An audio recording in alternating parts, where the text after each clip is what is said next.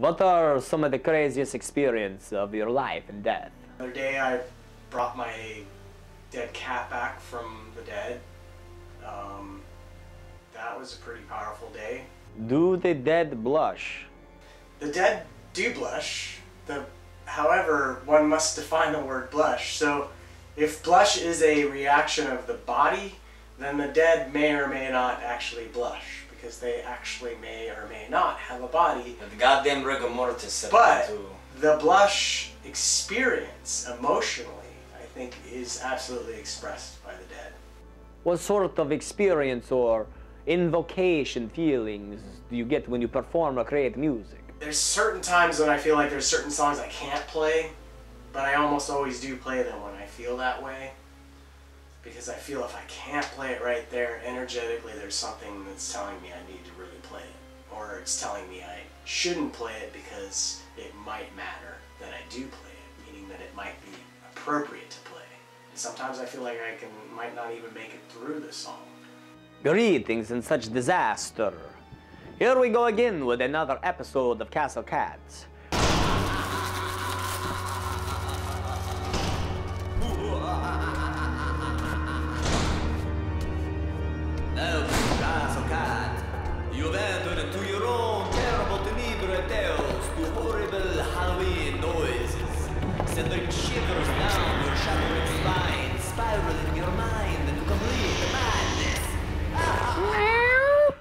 Greetings and such disaster.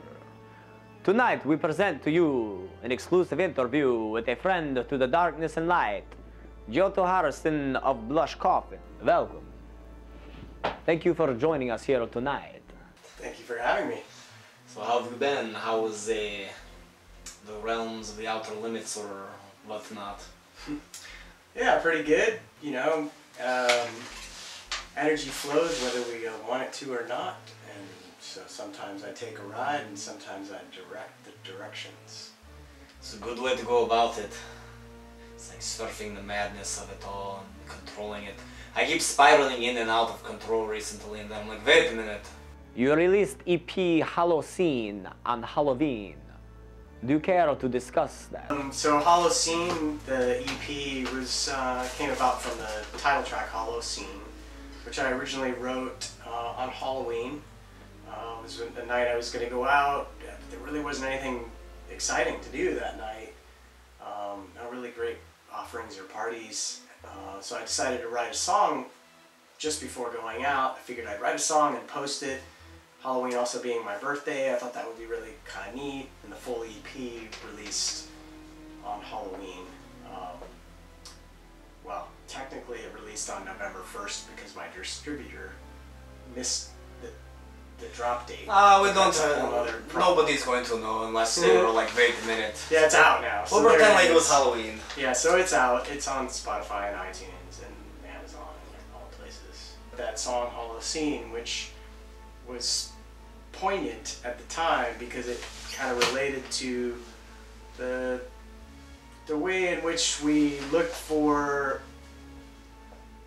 a close connection with our clique and our friends at parties and at, at dance clubs and so on and so forth, but it's never really that realized. We're very separatists in our congregational experiences. So that song kind of typifies for me the scene uh, musically and, and going out um, and how it can be rather hollow. This was something that was being talked about the other day. Actually, it's like uh, people come together off like common ground, but it's almost like partially like escapism, and then yeah, I don't know, like the the lack of connection you're talking about, or like the void, or the we all want close connections. Um, for some reason, you know, in our society and sociologically, uh, uh, we just really haven't evolved to really have those situations. Um, we like to think that we're having a great time, but a lot of the times we're actually just lonely individuals amongst a pool of many.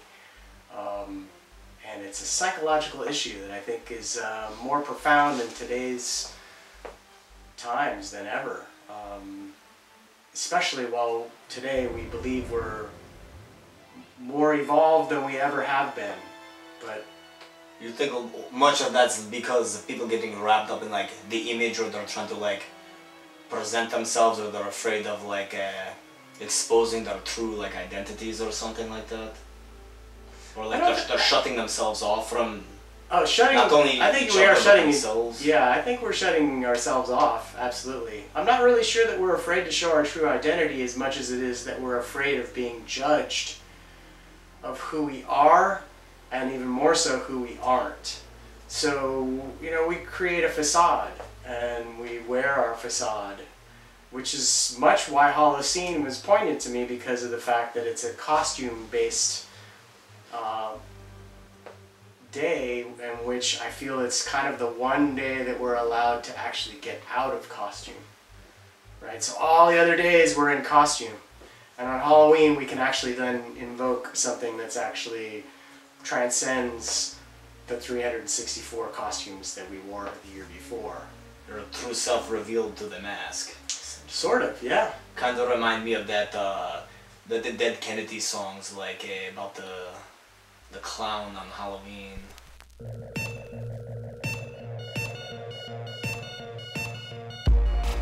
It's Halloween. Let's all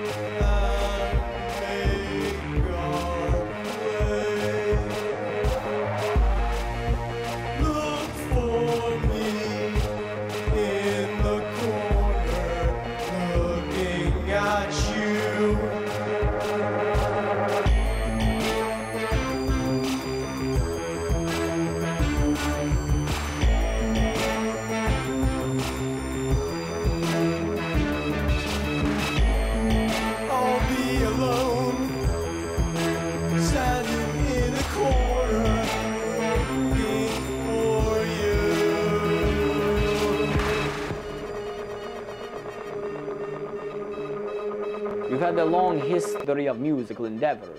You play many instruments. What got you started with Blush Coffin? For many years, I've played music uh, in other people's bands, being a supportive instrumentalist, um, playing often many instruments in a band to fill in those parts that, say, a band would have uh, recorded a record and they have all these parts that they can't do because there's not enough people in the band, or be the person that actually kind of just adds that little melody or rhythm that, that glues everything together. And although that was exciting, Blush Coffin was more of an experiment of playing with a bunch of different instruments in a live manner to, to, to make a live composition um, with my experience of music. The name Blush Coffin. Why? Why Blush Coffin?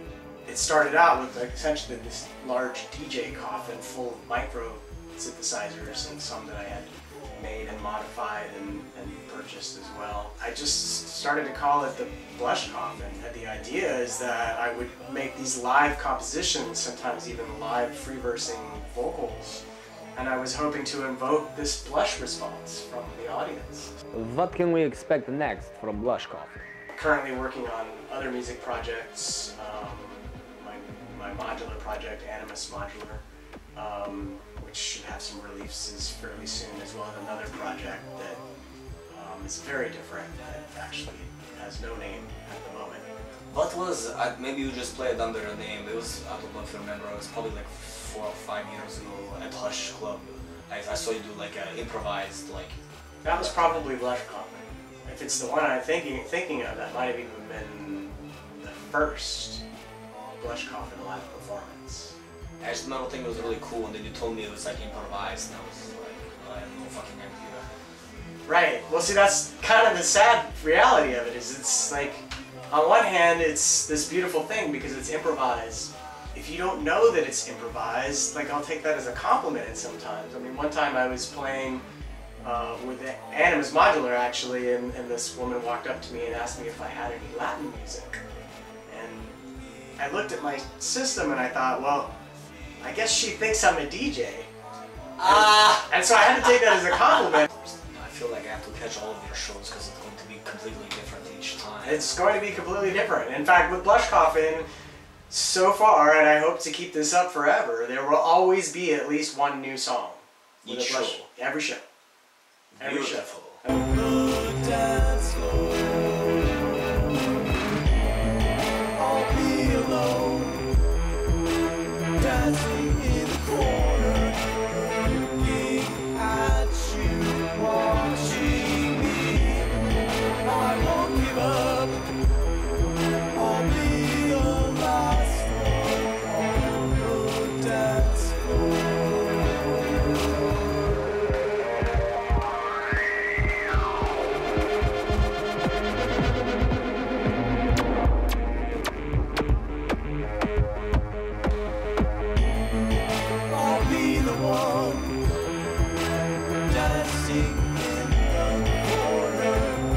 Beautiful. You have stated before that you practice the Dharma.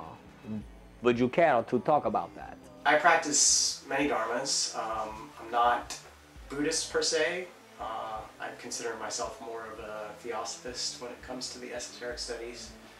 Um, kind of comparative study of all esoteric studies, and then finding those things that really are the cleanest, fastest, easiest way for me to look at energy and deal with energy, to clear energy, and to allow me to be present. So with the dharmas that I practice, they were um, given to me by a living Buddha who empowered me to do these certain dharmas. And I was part of a small group of some of the first non-disciple Buddhists uh, to be given these dharmas um, and empowered to do these dharmas. Because this living Buddha from the esoteric Chinese lineage of Buddhism had decided that it was more important for more people to have these uh, Dharma practices because he saw that big, heavy things were going to come in our near future. So he found it more important to just have more people be able to do these versus just disciples. Um, so I was invited to do that and did so, and they're pretty heavy, amazing dharmas that allow for superhero type stuff. Just honestly, really amazing stuff.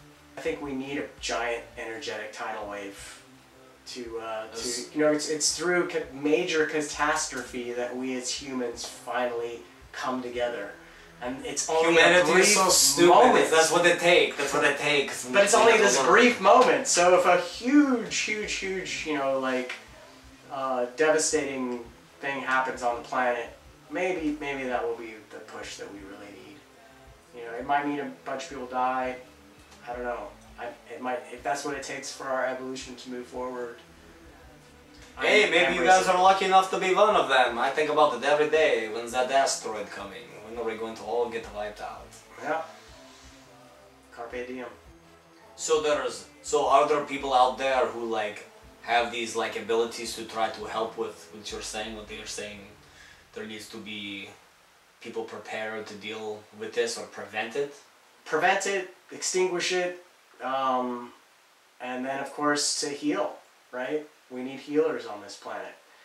Um, people that can actually really help to allow us to be present as humans in our human body um, to experience and express really so that we don't have all of this stuff that we're talking about all these inhibitions and these fears I mean, these are all lies, and we all know they're lies. We talk about it. It's, we all agree that there's these giant lies, but yet we still continue to, to live in the fear and purport the lies.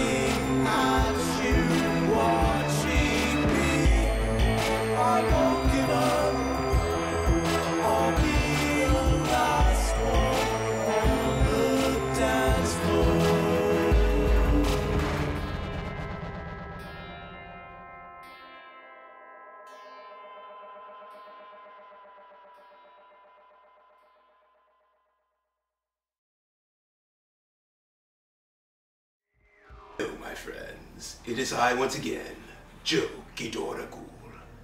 And tonight on Axe Ghoul Question, we are here with Tyrone. Tyrone. Wait a minute. Didn't I already axe you before? Mm, maybe. Minerva, that witch. Might have a little chat with her. But anyways, Tyrone, what will you be discussing with us today? Pretty much Tonight. more of the crazy paranormal activity that I've been experiencing. Excellent, excellent. So tell us, what tale have you for us tonight? Well, I got so many of them. Um, Well, we are on a time show. well, there was a time where it was uh, I had this thing with hands, and for some apparent reason, I will always see like thousands and thousands of hands. Like I go into the bathtub, I would see hands. There were. Big ones or little ones? No, little ones, but it'd be like thousands of them all over my body, like hands pulling me through. Kind of like similar on Nightmare on Elm Street, you know, with that on part, I think it was like part one when she was in the bathtub and Freddy hands came up. It's Ah, like this. yes, but old instead- claw, oh, yes. Right, that but was instead, such a yeah, he was like about to really grab her by the pussy with that one. you know, he really was about to grab it. But anyway, um, well, Freddy is a bit of a pervert, but what can I say? But anywho, uh, there was tons of hands that would like reach up for me, and there was even a moment like, cause I'm from Chicago and I came to LA. But the thing is, is that I was lazy. I didn't really want to buy a regular bed, so I had an air mattress. And then all of a sudden, I feel hands like pulling up and voices and stuff, and sometimes it would pin me down to the floor. And even when I wake up, I would still feel them moving all over my body, kind of like ants or bumblebees, like almost like insects, like an itchy sensation. And I was So there was nothing pleasurable about these hands. Oh no, I wasn't getting no orgasm from it. Mm. You know, none of that stuff. I mean, I could have maybe got some Vaseline, some lemon juice, and played my own little party. You know, Rain Man party. But anywho, um, you know, I decided to just get a regular bed, and after I got my regular bed, the hand sensation and the hands that I saw disappeared. You know, the spiritual woman said it's because I was laying too close to the surface of the ground, like where the spirits were, you know, underground. So she said if I get something that's much higher, they can't reach to me. Hmm. So, So it sounds to me, so the spirits were reaching for you. They must want something from you. What do you suppose it is that they wanted from you? I don't know, maybe my figgy pudding, you know. Hmm. How is that figgy pudding? Well, two piece and a biscuit. Hmm. So, Hmm, quite interesting. I might want to try some. Say, I do quite like those glasses. Do you mind if I uh, try them on? yeah, sure, absolutely, go ahead. Well, thank you, sir. Yeah. Yes, thank you. Hmm, yes, these are How quite that nice. fits you? It Oh. fits you really well. Well, thank you, yes. I wanted to try them first as well because I hate to see them get damaged. Oh, why would you say that? Because of this. What are some of the craziest experiences of your life and death? The other day I brought my dead cat back from the dead. Um, that was a pretty powerful day and experience. So what happened to them? Well, she died and I brought her back, but then her spirit told me that she was in fact ready, that it was her time to go. Um, and then we were able to say goodbye, and then she passed. Goodbyes are important. And then, but probably the most important day of my life was the day that I was able to save my then best friend's life. Um, that, even though things have changed, is uh, between us, that will forever remain my most important and profound day. It's very heavy stuff. It's extremely intense. Must be in debt to you, like, uh, for doing so, like, infinitely, regardless. Actually, it's kind of the reverse. Is it? Karmically, I'm more responsible for them Oh, because you, maybe they were and everything that happens from then on. Because you altered. I, I, I remember this conversation Yeah. now. They have no karmic debt to me. Absolutely not. But I have a karmic debt to them and to the world that they live in. Life is pretty fucking wacky. Absolutely.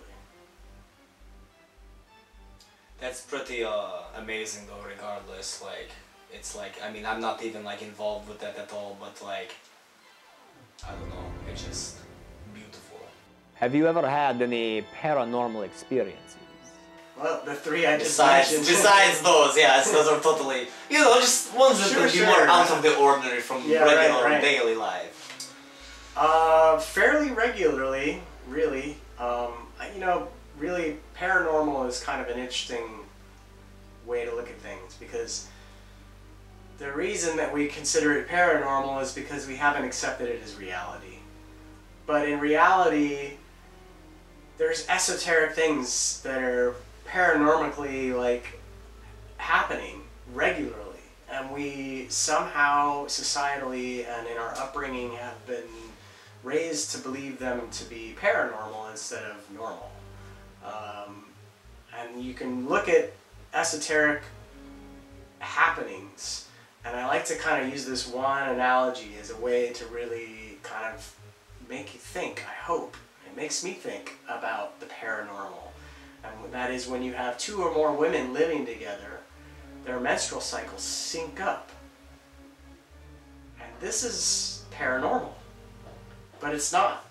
We know that this is a It's fact. natural connectivity. It's a natural connection between these humans that happens in some intrinsic way. It's almost like playing music together. It's like you just get in sync, sort of. It's like we're going to play same note and beat. We're going to like bleed at the same time, or like I don't know. Not to remind me, like centuries ago, every time I had to go use the litter box, my mother would be like, "I need to use the litter box every single fucking time." It's almost something similar. But anyways, back to the point. of, Yeah, like, yeah. I guess my question really is anytime one has a paranormal experience, I would hope one might look at it for a moment and just say, was it actually paranormal or was it normal? Because it probably was actually normal, really. Well, everything's sort of like natural. If it's if it exists, it's reality. But I guess like paranormal is just because it doesn't jive with like our culture's like outlook on like how everything has to be like this type of scientific or whatever. Or like like you said, it's like not accepting of it or whatever. Sure. But science has come, I mean, you know, with quantum physics, Oh, quantum it's totally theory, linking up now. we're Finally. finally getting somewhere there. I mean, quantum quantum It's physics beautiful. completely shows us that the intrinsic connection between all things in the universe. the whole like string theory. Well, just everything. You take two mechanical clocks, you put them on a wall together, they're going to start to click together because they have to. You take one thing that's related to another thing and you spread it to the furthest points of the universe and you turn this one, it's going to affect that one.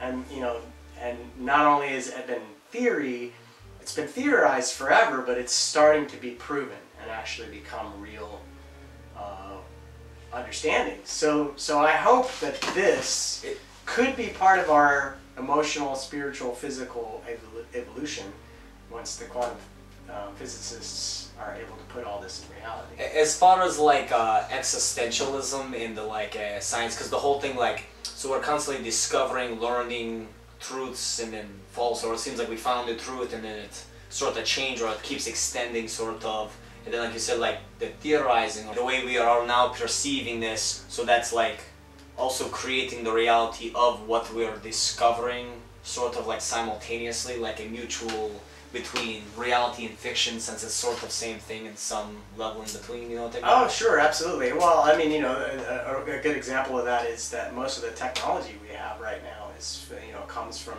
science science fiction uh, TV shows and Star movies. Trek, Telephone. Yeah, you know, and then we and then we want these things, so then we go and we seek them out and create them.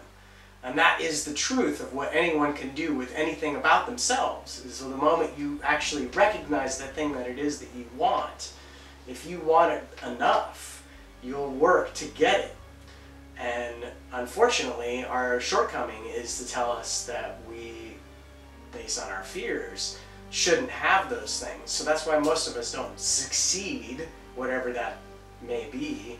It's, it's only our own doing, really. It's, it's it's interesting. I was just talking about this with Gangsta G Ghost about like like I, it's like I understand and I know a lot of these things, but I'm not putting into practice. I'm like retaining this like negative like everything's fucked. Like I haven't s- broken these bad habits or these patterns or these cycles. Like what's wrong with me or whatever, and then just falling back into the like you know feeling doomed, so to speak, or some mm-hmm. shit. Any last words, death threats, or midnight snack recipes for the ghouls in TV land? I would say, yeah, when when experiencing somebody performing their art or their music uh, or expressing that, like have a moment to realize whether it's your experience that you're having or are you experiencing what's happening through the gauze and the fears of what others might think of you or the influence of what they would think. Is it your truth do you fully have the availability to experience it for yourself? And that's true with anything and any day that you might experience with anything. Uh, I feel we all often speak words that we recite that we've heard about opinions or decisions of whether we like something or not, are actually someone else's decision. Is it your decision and is it your truth? That's the biggest thing I could say in any given day for anyone is how much of what we say is your own truth. Humanoids and pink candy hell demons. Blush Coffin. Be sure to check out his EP Holocene on the Interspider web. Thank you for tuning inside out. I now drop you off to be babysat by the Witch.